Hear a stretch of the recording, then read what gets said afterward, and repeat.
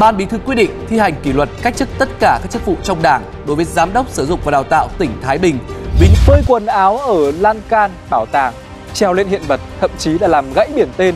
Nhiều hành động xấu xí ngang nhiên diễn ra trong những ngày cao điểm cuối tuần qua khi bảo tàng đón tới 30.000 du khách tới tham quan. Chính phủ Trung Quốc vừa ban hành kế hoạch để biến ngành kinh tế băng tuyết thành một cực tăng trưởng mới. Đâu là sức hấp dẫn từ những ngày lạnh giá? Thưa quý vị, bão số 8 đang có cường độ là cấp 9, cấp 10, tương đương với sức gió là từ 75 đến 102 km h ở phía đông bắc của Bắc Biển Đông. Dự báo là bão số 8 sẽ đi theo hướng Tây Tây Bắc rồi đổi sang Tây, sau đó xuống phía Tây Tây Nam và giảm cường độ. Đến 16 giờ ngày 15 tháng 11 thì bão sẽ suy yếu thành áp thấp nhiệt đới ở phía Tây Bắc khu vực Bắc Biển Đông. Cảnh báo vùng nguy hiểm trên Biển Đông trong 24 giờ tới sẽ là vĩ tuyến 16,5 đến 22 độ Bắc, kinh tuyến 113 đến 119 độ Đông, chính là vùng biển phía Bắc của Bắc Biển Đông. Về diễn biến của áp thấp nhiệt đới suy yếu từ cơn bão số 7 thì dự báo đến 1 giờ sáng mai sẽ suy yếu thành vùng áp thấp trên vùng ven biển Quảng Ngãi, Phú Yên. Hôm nay tại trụ sở Trung Đảng, Ban Bí thư đã xem xét thi hành kỷ luật đảng viên vi phạm, khuyết điểm. Sau khi xem xét đề nghị của Ủy ban Kiểm tra Trung ương, Ban Bí thư nhận thấy đồng chí Nguyễn Viết Hiền trong thời gian giữ chức vụ Ủy viên Ban chấp hành Đảng bộ tỉnh, Ủy viên Ban chấp hành Đảng bộ khối các cơ quan và doanh nghiệp tỉnh, Bí thư Đảng ủy, Giám đốc Sở Giáo dục và Đào tạo tỉnh, trưởng ban chỉ đạo kỳ thi tuyển sinh lớp 10 trung học phổ thông năm học 2024-2025 của tỉnh Thái Bình, chịu trách nhiệm người đứng đầu về những vi phạm khuyết điểm của Đảng ủy, Sở Giáo dục và Đào tạo tỉnh Thái Bình cho việc lãnh đạo chỉ đạo tổ chức kỳ thi, thiếu trách nhiệm trong lãnh đạo chỉ đạo, kiểm tra, giám sát tổ chức thực hiện kỳ thi để một số tổ chức cá nhân trong ngành giáo dục tỉnh Thái Bình vi phạm nghiêm trọng quy định của Đảng, pháp luật của nhà nước, quy định của Bộ Giáo dục và Đào tạo trong thực hiện chức trách nhiệm vụ được giao tại kỳ thi dẫn đến công bố sai điểm chuẩn, sai kết quả tuyển sinh của rất nhiều thí sinh. Căn cứ nội dung, tính chất, mức độ, hậu quả, nguyên nhân vi phạm theo quy định của Đảng về kỷ luật đảng viên vi phạm, Ban Bí thư đã quyết định thi hành kỷ luật, cách chức tất cả các chức vụ trong Đảng đối với đồng chí Nguyễn Viết Hiển. Các bác sĩ bệnh viện đa khoa thành phố Cần Thơ vừa thực hiện phẫu thuật nối liền và bảo tồn cánh tay trái bị đứt lìa do tai nạn lao động của một bệnh nhân. Ở trước đó thì bệnh nhân này đang vận chuyển vật liệu xây dựng tại công trường thì không may xảy ra tai nạn. Dù chuyển vào viện cấp cứu trong tình trạng nguy kịch thế nhưng là rất may đã được can thiệp kịp thời. Bệnh nhân này vừa trải qua những giờ phút thập tử nhất sinh. Trong lúc làm việc, bất ngờ tay áo bị chướng vào bánh răng cô rồng rọc nên bị cuốn vào và cắt lìa cánh tay trái. Bệnh nhân thì vào viện với tình trạng là choáng, bệnh nhân là lơ mơ, à, huyết áp tục mạch không đo được, à, niêm thì rất là nhạt. Và kèm theo đó là một cái là phần cái cánh tay mà gọi là người nhà đem video với mình. Nhận định đây là một trường hợp nặng mình cần cần phải phẫu thuật cấp cứu. Sau khi mà bác sĩ về chỉnh thương chỉnh chỉnh hình người ta đã cố định cái xương xong mình phải khâu nối lại các cái mạch máu và cái thần kinh rồi sau đó kèm theo là mình phải cắt lọc những cái mô chết.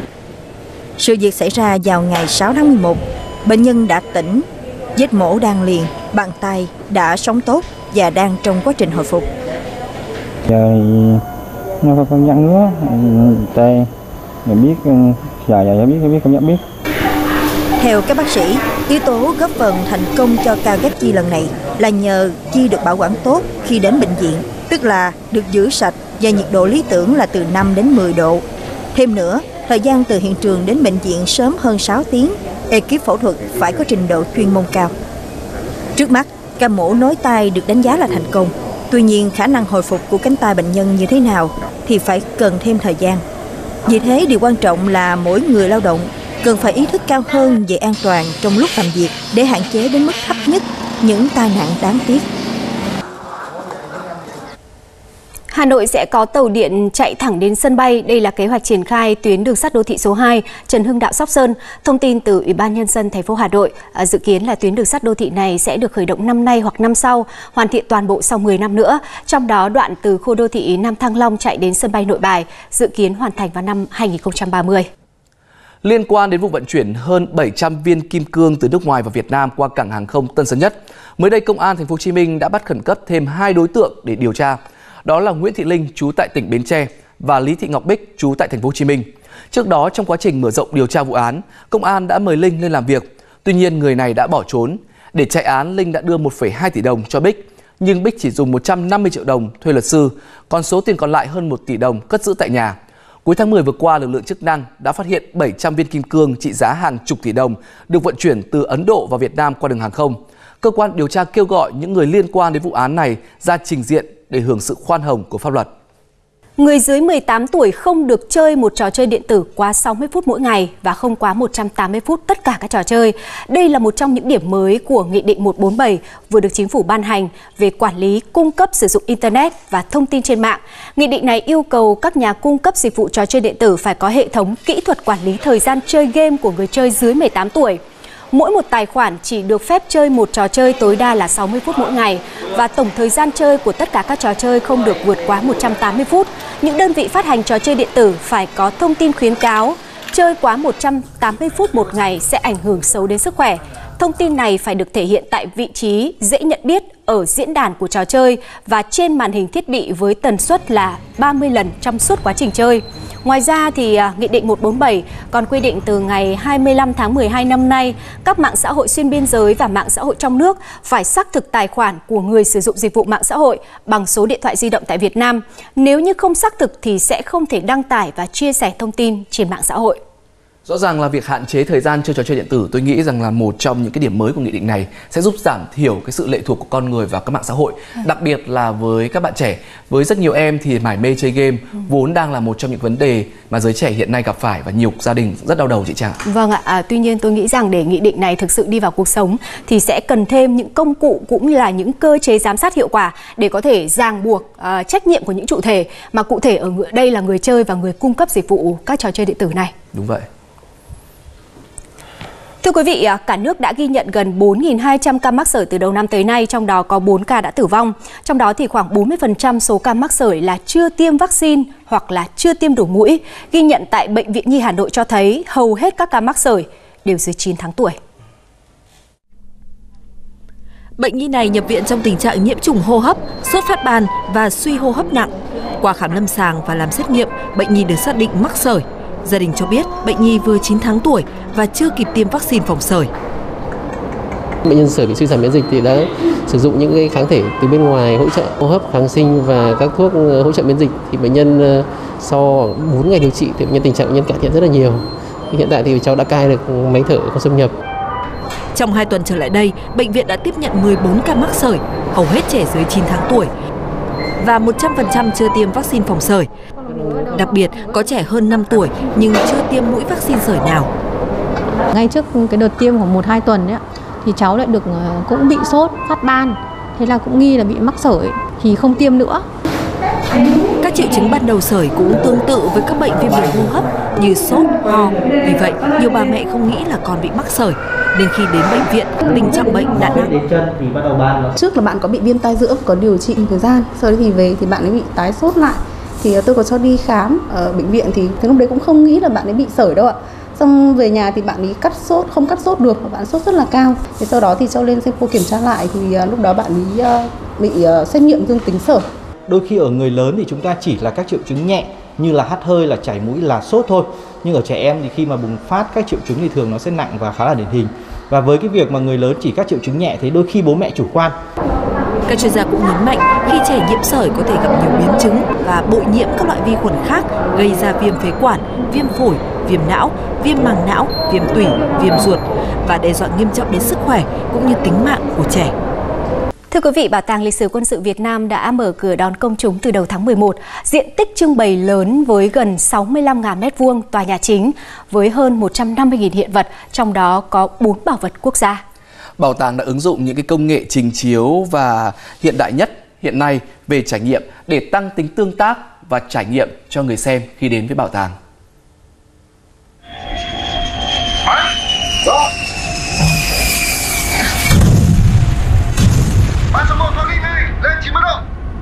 Rõ Báo cáo 361 đã bắn rơi B52 Nhóm bạn trẻ này rất háo hức khi lần đầu tiên được trải nghiệm tại không gian tái hiện chiến dịch 12 ngày đêm Điện Biên Phủ trên không năm 1972. Hệ thống chiếu 3D, màn hình cảm ứng, công nghệ thực tế ảo mở rộng, tái hiện trận chiến lịch sử, tham gia quá trình tác chiến và kết thúc bằng việc bắn rơi máy bay B-52. Và em cảm thấy rất là sống động và khác xa so với những cái tranh ảnh ờ, hiện vật ngày xưa. Em cảm thấy rất là tự hào và rất là cảm thấy là yêu Việt Nam hơn rất là nhiều.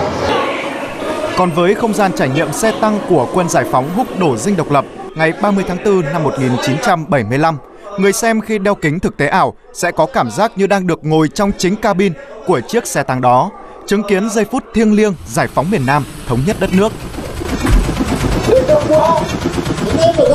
Lần đầu tiên em được trải nghiệm thực tế ảo, cảm giác rất là chân thực. Cảm xúc là mình được uh, chứng kiến ờ, ông cha hồi xưa đã tiến vào dinh độc để giải phóng. Em rất là thấy tự hào với dân tộc của mình hay trải nghiệm tái hiện chiến thắng của quân đội ta trong trận chiến sông Lô năm 1947. Mô hình khẩu pháo được thiết kế có tỷ lệ 1-1 so với thực tế. Sa bàn tái hiện chiến dịch lịch sử Điện Biên Phủ dựa trên công nghệ 3D mapping, giúp thể hiện các trận đánh tại đồi Him Lam A1 với hiệu ứng khói lửa ấn tượng đội ngũ công nghệ đã phải tính toán kỹ lưỡng lên nội dung và thiết kế phần mềm cho từng câu chuyện và không gian cụ thể. Ở đây thì chúng tôi áp dụng cái công nghệ là mô phỏng buồng lái của máy bay MiG-21 bằng công nghệ 3 chiều, công nghệ phim 360 để cho người xem ờ, các cái khán giả có thể hiểu được là à cái quá trình mà anh Hùng Phạm Tuân khi mà cất cánh và bắn cháy máy bay như thế nào. Xác máy bay sau khi máy bay cháy thì đã rơi chẳng hạn. Bảo tàng quân sự có đặc thù là những cái vũ khí trang bị rất là lớn công chúng không thể vào bên trong để tham quan được thì tôi nghĩ rằng là công nghệ sẽ giúp cho công chúng tìm hiểu sâu bên trong được trải nghiệm trên thực tế uh, những người lính những ca, những chiến sĩ người ta đã sử dụng cái vũ khí trang bị đó như nào để lan tỏa bảo tàng số tới nhiều người chưa có cơ hội đến trực tiếp, những trang web với công nghệ audio 3D quét mã QR được áp dụng triệt để. Bảo tàng lịch sử quân sự Việt Nam những ngày đầu mở cửa du khách tới đây rất đông. Nhưng nếu bạn chưa có cơ hội để trải nghiệm trực tiếp thì cũng có thể khám phá bảo tàng thông qua online bằng công nghệ 360 độ VR. Đây cũng là xu hướng của nhiều bảo tàng trên thế giới. Thưa quý vị, Bảo tàng Lịch sử Quân sự Việt Nam trong những ngày đầu tiên mở cửa đã đón tiếp một lượng lớn du khách từ khắp nơi đổ về. Đặc biệt là trong những ngày cuối tuần vừa qua, theo thống kê thì bảo tàng đón tới hơn 30.000 người. Tuy nhiên thì bên cạnh con số kỷ lục đó thì trên mạng xã hội lại lan truyền vô số những hình ảnh không đẹp về ý thức của nhiều du khách đến tham quan tại đây. Phơi quần áo phía ngoài bảo tàng, làm gãy biển tên, thậm chí trèo đạp lên hiện vật. Những hành động xấu xí cứ ngang nhiên diễn ra trong khi nội quy tham quan bảo tàng đã nêu rõ, không tì tay lên kính, không chạm tay hay trèo lên hiện vật. Ờ, chị, chị, chị có biết là không được sờ hay là chạm vào hiện vật Chị có nhắc nhở với em mình không ạ? Em không biết ạ. Mình cảm thấy rất là bức xúc và có một phần nào đấy rất là buồn. Những hình ảnh như thế đang đang làm phá hoại chứ không phải là dừng ở mức độ là chỉ là nghịch ngợm nữa ờ, người nọ bắt chiếc người kia sẽ tạo ra trào lưu cái thói quen. Thực ra là cũng rất bức xúc nhưng mà không thể nói được. Mình thấy là mọi người chưa thực sự trân trọng những cái hiện vật lịch sử chưa thực sự hiểu rõ là chúng ta cần phải giữ gìn để nó được lâu hơn. Trên thực tế, dù đã có lực lượng quản lý và an ninh nhắc nhở hay thậm chí can thiệp trực tiếp nhưng số lượng khách quá đông khiến cho việc kiểm soát những hành vi này càng trở nên khó khăn hơn. Tất nhiên là có những du khách họ rất là hiếu kỳ, họ muốn là phải sơ vào hiện vật, treo lên hiện vật thì chúng tôi sẽ phải nhắc nhở bởi vì cái đấy là cái quy định. Mình đi xem hiện vật chứ không phải là đến để cầm nắm như là các cái đồ vật. Có một số các cái khách, các bạn trẻ rồi các em bé không đọc hết quy định. Em ấy hiếu kỳ hiếu động trèo sờ tác động vào mấy vẽ. Rồi cha mẹ bạn đi đông quá cũng không kiểm soát hết được. Một số khách tham quan hiện nay đang hiểu nhầm về cái việc là được uh, sờ chạm hiện vật. Thì uh, bảo tàng hiện nay có 3 khu tương tác trải nghiệm. Chúng tôi sẽ làm những các mô hình vũ khí. Thì khách tham quan có thể vào sử dụng bắn pháo sử dụng kéo pháo. Còn tất cả hiện vật ở trong hệ thống trưng bày trong và ngoài nhà thì khuyến nghị khách tham quan không được sờ chạm tác động làm ảnh hưởng đến tuổi thọ bảo quản lâu dài của hiện vật. Phía Bảo tàng Lịch sử Quân sự Việt Nam cũng đã và đang triển khai các giải pháp lâu dài để ngăn chặn kịp thời những hành vi xấu xảy ra. Chúng tôi đã bố trí các lực lượng à, bảo vệ à, của cơ quan, lực lượng trông coi hiện vật. Chúng tôi cũng đã có cái sơ bộ thống kê và khắc phục chuyển à, các cái pháo vào đúng vị trí, gia cố pháo chặt chẽ hơn và à, tiến tới thì chúng tôi sẽ khắc phục những cái chú thích lớn và làm lại cái tường để cho nó đảm bảo thẩm mỹ. Hành vi làm hư hại hiện vật trong bảo tàng có thể bị phạt tiền từ 30 đến 40 triệu đồng. Dù vậy, điều quan trọng để bảo vệ được các hiện vật trưng bày vẫn nằm ở ý thức, cách cư xử văn minh và có trách nhiệm của mỗi du khách khi đến tham quan tại đây. Thưa quý vị, đã có nhiều vụ vỡ hụi xảy ra trên cả nước nhưng vẫn không ngăn cản được việc nhiều người dân liên tục tham gia vào hình thức này bởi họ quá tin tưởng vào chủ hụi, nhất là những người có quan hệ họ hàng hay láng giềng. Thực tế, quá trình điều tra xác minh tội phạm trong những vụ vỡ hụi gặp rất nhiều khó khăn do việc chơi hụi dựa trên niềm tin và có mối quan hệ. Mặt khác thì không giống như là những loại hình à, cho vay hay là gửi tiết kiệm khác, chủ hụi không cần tài sản đảm bảo. Đó cũng là một phần nguyên nhân khiến cho những người tham gia khó lấy lại được tài sản của mình khi vỡ hụi. Những vụ vỡ hụi mới xảy ra gần đây ở Thanh Hóa và Hải Phòng đều có quy mô lớn, mà chủ hụi đã có thâm niên hoạt động gần hai chục năm. Những tưởng thời gian tạo nên uy tín, nhưng không phải. Thực tế thì đối tượng này ờ, với hình thức là tổ chức cho họ góp lãi nhưng mà không có cho họ thật mà chiếm đoạt tiền của những người dân. Ngoài cái việc mà chi tiêu cá nhân ra, đối tượng này còn chính sử dụng cái tiền này để quay vòng tiền chứ chính vì khi nó quay vòng rồi cứ giật gấu va vai đến lúc mà không còn khả năng giật gấu, giật gấu va vai nữa thì là vỡ nợ 15 tỷ đồng chiếm đoạt, được sử dụng vào việc trả nợ và chi tiêu cá nhân. Nên khi bị bắt, chủ hụi chỉ còn hơn 7 triệu đồng. Chủ hụi tiêu hết tiền, nên đa số các bị hại trong vụ vỡ hụi tại quận Dương Kinh, thành phố Hải Phòng đều chưa được bồi thường. Nếu có cũng không đáng kể. Trong danh sách nạn nhân, có người dù bị chiếm đoạt gần 1 tỷ rưỡi, nhưng mới chỉ nhận được 2 triệu đồng. Không có một hào nào giả bằng tớ thế cho nên mới theo đuổi bao nhiêu năm nay rồi mới thật như thế. Tức là gia đình không còn tài sản nữa. Tài sản đây đây nhà đây hai ba cái nhà đây này.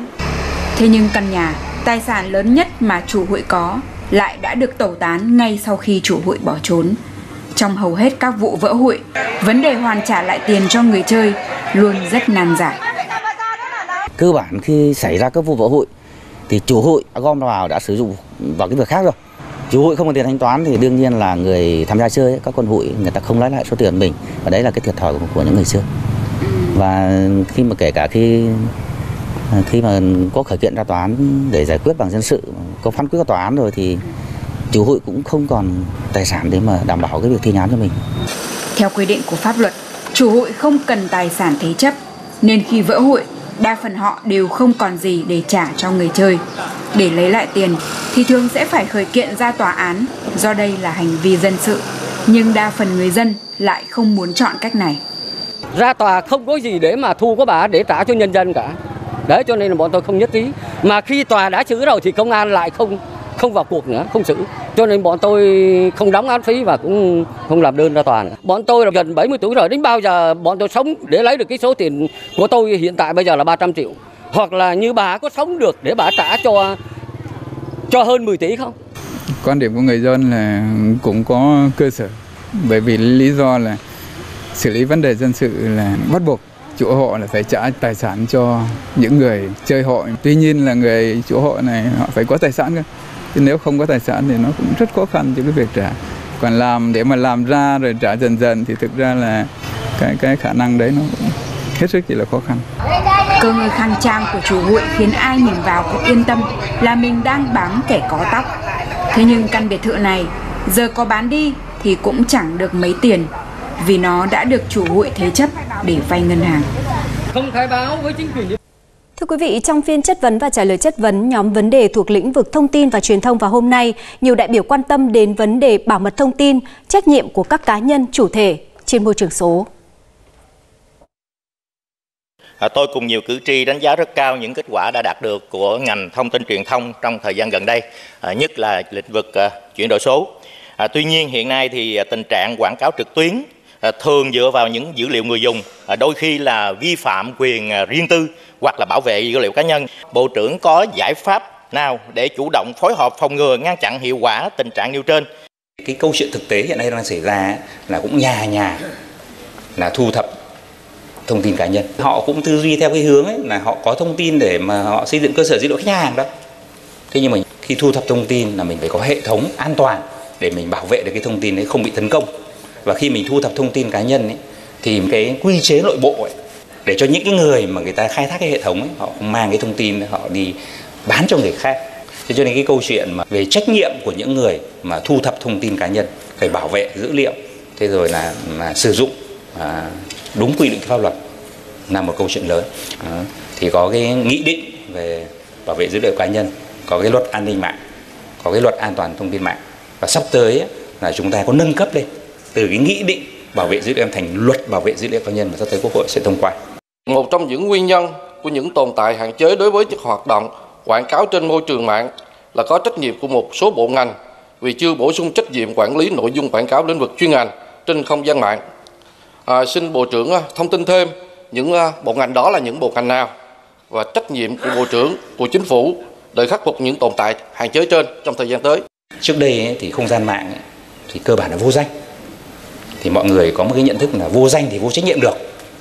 Thì cái nghị định này nói rằng là các mạng xã hội khi mà đăng ký tài khoản mới là phải định danh thông qua số điện thoại hoặc là thông qua căn cước công dân. Thì cái trách nhiệm của mọi người trên không gian mạng chắc sẽ tốt hơn rất nhiều. Thế còn uh, các bộ ngành khác tôi cũng rất mong muốn là các bộ ngành khác các địa phương cũng vậy thôi à, lên môi trường mạng quản lý cái lĩnh vực của mình thế còn công cụ giả quét thì chúng tôi hỗ trợ nếu mà à, các đơn vị mà chưa phát triển được. Đào tạo nhân lực để mà giả quét ngăn chặn, chúng tôi cũng thế, tổ chức đào tạo. Nhưng mà bảo vệ không gian của mình trên không gian mạng là trách nhiệm của mình, trách nhiệm của nhà nhà, của toàn bộ hệ thống chính trị. Đồng Bitcoin đã đạt mức kỷ lục mới vượt mức 89.000 đô la Mỹ trong bối cảnh mà nhà đầu tư kỳ vọng vào chính sách ủng hộ tiền mã hóa của Tổng thống đắc cử Donald Trump. À, tổng điền, đồng tiền kỹ thuật số lớn nhất thế giới đã tăng giá mạnh, đạt mức cao nhất là hơn 89.000 đô la Mỹ vào ngày hôm qua. Giá trị này tăng hơn gấp đôi so với mức thấp nhất của năm nay là 38.505 đô la Mỹ. Sự tăng trưởng mạnh mẽ của Bitcoin phần nào nhờ vào cam kết của ông Donald Trump trong việc biến Mỹ thành thủ đô tiền mã hóa và thành lập kho dự trữ Bitcoin quốc gia. À, bên cạnh đó thì cổ phiếu của các công ty tiền mã hóa cũng đã tăng với Coinbase Global tăng 22% và iShare Bitcoin Trust tăng 13%. À, tuy nhiên là các chuyên gia cảnh báo rằng chính sách quản lý tiền mã hóa không chặt chẽ có thể dẫn đến nhiều rủi ro bao gồm cả gian lận và tội phạm. Một cuộc điều tra của tờ báo Pháp Le Monde đã phát hiện ra rằng các hoạt động cực kỳ bí mật của Tổng thống Mỹ Biden, Tổng thống đắc cử Mỹ Trump và Phó Tổng thống Mỹ Harris cùng với những nhà lãnh đạo thế giới khác có thể dễ dàng bị theo dõi thông qua một ứng dụng mà vệ sĩ của họ sử dụng.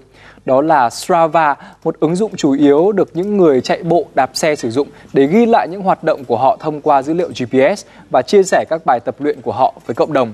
Vị trí của những nhân vật quan trọng có thể được xác định bằng cách theo dõi hồ sơ ứng dụng Strava của vệ sĩ của họ báo Le Monde cũng phát hiện ra những người dùng Strava trong số đội ngũ an ninh của Tổng thống Pháp Macron và Tổng thống Nga Putin. Hiện trên thế giới có hàng triệu người sử dụng ứng dụng thể dục này.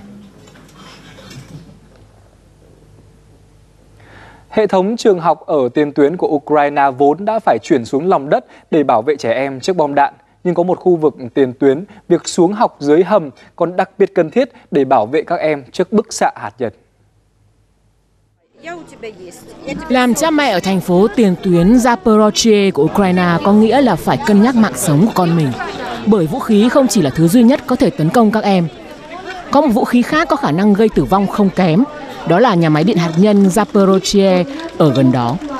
Nhà máy điện hạt nhân này từng sản xuất nhiều hơn bất kỳ nhà máy điện hạt nhân nào khác ở châu Âu. Hiện nó nằm trong tay lực lượng Nga. Nhà máy liên tục bị tấn công và cả hai bên đều đổ lỗi cho bên kia gây ra. Hai mối nguy hiểm đồng thời này, bom và bức xạ hạt nhân, ám ảnh các gia đình ở Zaporozhye. Hầu hết những cư dân trẻ nhất của thành phố chưa bao giờ được học trong một lớp học đúng nghĩa. Các trường học đã tạm dừng các lớp học trực tiếp trong đại dịch Covid-19 hơn 4 năm trước, thì nay đã tiếp tục các lớp học trực tuyến sau khi chiến sự bắt đầu vào tháng 2 năm 2022. Trên thực tế, trẻ em đã mất cơ hội giao lưu xã hội, cơ hội giao tiếp. Giáo dục trực tuyến không thể thay thế giao tiếp trực tiếp. Nó không thể thay thế các bài học của giáo viên. Nó không thể thay thế tình bạn ở trường. Vì vậy, thành phố Zaporozhye đang xây dựng cho tương lai bằng cách tạo ra một hệ thống trường học ngầm. Việc xây dựng một tá trường học ngầm dưới đất được thiết kế để chống bức xạ hạt nhân và bom có khả năng đào tạo 12.000 học sinh đã bắt đầu. Sau đó, các quan chức cho biết họ sẽ xây dựng hệ thống bệnh viện ngầm. Chi phí xây dựng hệ thống trường học ngầm là rất lớn, riêng ngân sách cho một phòng tập thể dục đã lên tới 2,7 triệu đô la Mỹ. Các nhà tài trợ quốc tế đang chi trả phần lớn chi phí này và chính quyền địa phương cũng như trung ương đã ưu tiên chương trình này ngang bằng với việc tài trợ cho quân đội. Chúng ta hiện đang ở giữa một hầm trú ẩn bức xạ cho trường, đang được xây dựng để học trực tiếp, không phải trực tuyến, để trẻ em có thể học trong thời gian thiết quân luật. Dự kiến lạc quan nhất thì trường học ngầm sẽ sẵn sàng đón học sinh vào tháng 12. Trường có 3 lớp cốt thép, tổng cộng là 400 tấn kim loại, cộng với 3.100 mét khối bê tông cốt thép. Tòa nhà sẽ nằm ở độ sâu gần 1 mét đất, che phủ bên trên là một sân bóng đá và sân chơi. Trường sẽ có hệ thống lọc không khí, hai đường dây điện riêng biệt và khả năng hoạt động tự cung tự cấp trong 3 ngày, bao gồm cả nguồn cung cấp thực phẩm và nước. Canada sẽ thay đổi chính sách cấp thị thực du lịch trong bối cảnh mà ngày càng có nhiều lo ngại về tình trạng thiếu nhà ở, cơ sở hạ tầng xã hội và dư luận Canada gia tăng phản đối nhập cư. Trước đây thì du khách đến Canada có thể được cấp thị thực nhập cảnh nhiều lần với thời hạn lên đến 10 năm, nhưng theo quy định mới thì viên chức cấp thị thực sẽ đánh giá người nộp đơn dựa trên cơ sở từng cá nhân để xác định xem xét loại thị thực nhập cảnh một lần hay là nhiều lần với thời hạn cụ thể thế nào là phù hợp. Các yếu tố có thể được xem xét là mục đích của chuyến đi, nghề nghiệp, sự ổn định tài chính, sức khỏe của du khách và nhiều yếu tố khác. Thay đổi này là một phần trong chiến lược rộng lớn hơn nhằm quản lý mức độ nhập cư tạm thời và nó cũng có nghĩa là du khách thường xuyên đến Canada có thể sẽ phải chịu chi phí xin thị thực nhiều hơn, thị thực nhập cảnh ngắn hạn hơn. Các trường đại học tại Anh nằm trong số những trường đại học danh giá nhất trên thế giới. Tuy nhiên, những hạn chế về thị thực đang khiến cho những ngôi trường này thu hút ít sinh viên quốc tế hơn, gây ảnh hưởng nặng nề đến tài chính. Trong quý 3 vừa qua, thì số lượng thị thực du học đến xứ sở sương mù đã giảm 16% so với cùng kỳ năm ngoái. Việc chính phủ tiền nhiệm áp đặt các hạn chế đối với thị thực sinh viên trong nỗ lực giảm số người nhập cư vốn ở mức kỷ lục khiến Anh trở thành điểm đến du học kém hấp dẫn hơn. Sự sụt giảm của sinh viên quốc tế đã làm trầm trọng thêm cuộc khủng hoảng đối với đội ngũ giảng viên khi mà nhiều vị trí giảng dạy đã bị cắt giảm. Trước đó vào năm 2022, Anh đã từng thu hút 760.000 sinh viên nước ngoài theo học tại các trường đại học của nước này và trở thành điểm đến phổ biến với sinh viên thứ hai sau nước Mỹ. Chính phủ Trung Quốc vừa ban hành kế hoạch để biến ngành kinh tế băng tuyết trở thành một cực tăng trưởng mới. Thực tế là từ sau Olympic mùa đông Bắc Kinh năm 2022, Trung Quốc đã đẩy mạnh các loại hình du lịch băng tuyết ừ, tại nhiều địa phương. À, đang vào mùa đông, du lịch băng tuyết đang trở thành loại hình được ưa chuộng hàng đầu.